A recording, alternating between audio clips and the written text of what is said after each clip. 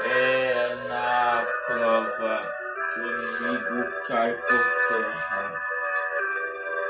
É na prova. Não